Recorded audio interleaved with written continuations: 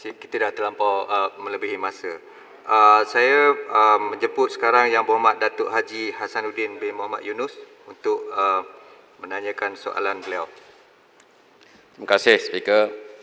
Uh, meminta Menteri Alam Sekitar dan Air menjelaskan adakah kerajaan dapat menjamin tarif air di Lembah Kelang tidak naik selepas kerajaan menyerahkan loji rawatan air Langat 2 kepada pengurusan air Selangor untuk mengelakkan bebanan pengguna.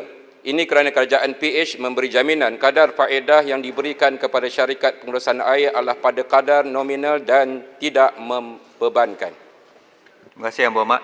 Saya persilakan uh, Yang Berhormat Menteri Alam Sekitar dan Air untuk menjawab dalam tempoh Bismillahirrahmanirrahim. Tuan Ketua, uh, terima kasih pada yang bertanya.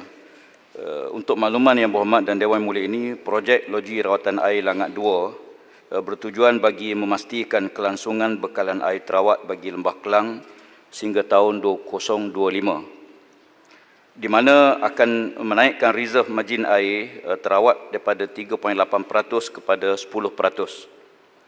Kerajaan Persekutuan melalui pengurusan aset air berhad ataupun PAAP melabur lebih uh, daripada 4 bilion secara pinjaman untuk projek loji Langat 2 yang mampu membekalkan air terawat sebanyak 1130 juta liter sehari bila ia siap sepenuhnya pada tahun 2023. Ini tidak termasuk peruntukan berjumlah 3.9 bilion bagi membawa air mentah daripada empangan Kelau di Pahang untuk dirawat di loji Langat 2. Projek Langat 2 kelak akan diserahkan kepada pengurusan air Selangor uh, Sdn Berhad ataupun air Selangor berdasarkan perjanjian pengstrukturan semula uh, industri bekalan air Selangor yang ditandatangani pada tahun 2014.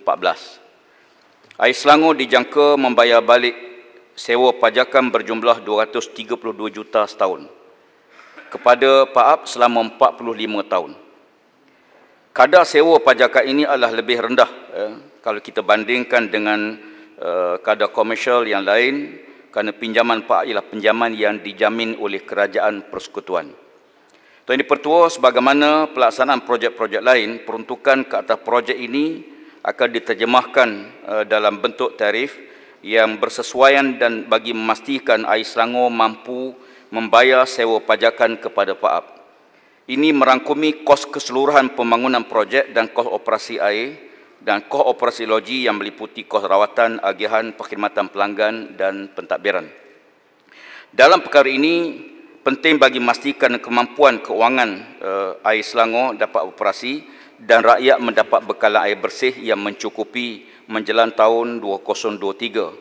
Uh, saya ingin beri jaminan uh, dan Dewan Yang Mulia ini uh, bahawa sebarang semakan tarif air uh, di seluruh negara uh, termasuk Selangor, Wilayah Persekutuan, uh, Kuala Lumpur, Labuan dan sebagainya uh, akan diambil kira soal pelbagai pihak yang terlibat dalam pengurusan air ya, dan pihak Suruhanjaya Perkhidmatan Air Negara ya, sebagai badan kawaslia industri air negara akan melakukan perundingan perbincangan.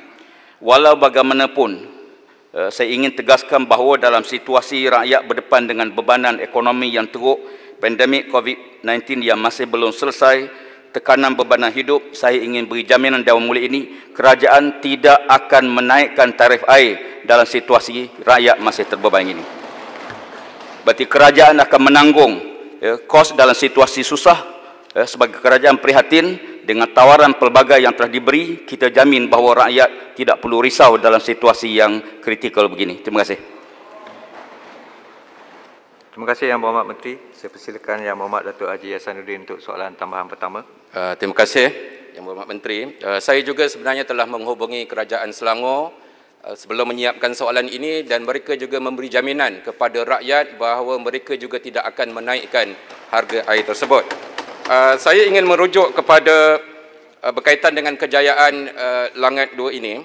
Saya ingin merujuk kepada kenyataan SPAN yang mengatakan bahawa penggunaan air individu di Selangor, wilayah Persekutuan Kuala Lumpur dan Putrajaya adalah sebanyak 222 liter sehari ini lebih tinggi 30% daripada kadar yang disyorkan Pertuan Bangsa-Bangsa Bersatu sebanyak 164 liter air.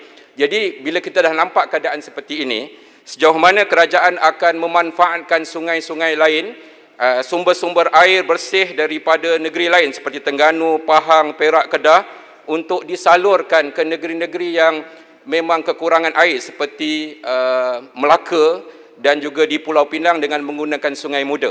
Mohon penjelasan Menteri. Terima kasih Yang Berhormat. Silakan Yang Terima kasih. Berhormat. Uh, Bapak yang bertanya, saya ingin jelaskan bahawa kadar penggunaan air di Selangor dan negeri lain eh, sebagaimana yang telah dimaklum sebenarnya lebih tinggi daripada apa yang sepatutnya. Penggunaan normal bagi air dalam konteks negara, target kita tahun 2030 30 ialah 160 liter sehari bagi seorang pengguna. Tapi di Selangor 220 liter sehari. Berarti kita perlu galakkan kempen kesedaran supaya penjimatan air berlaku dan supaya kos uh, walaupun harga air ini sangat rendah tetapi rakyat tidak perlu bermewah-mewah dengan air yang ada. Bagi so yang soalan kedua untuk makluman kita di peringkat kementerian sedang melakukan satu kajian teliti bagi mewujudkan suatu uh, highway air.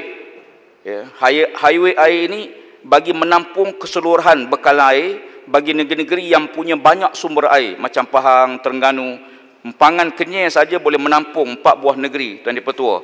Di waktu yang sama kita dapati ada buah-buah negeri yang memang berdepan dengan masalah masalah air yang agak kritikal terutama musim-musim kemarau.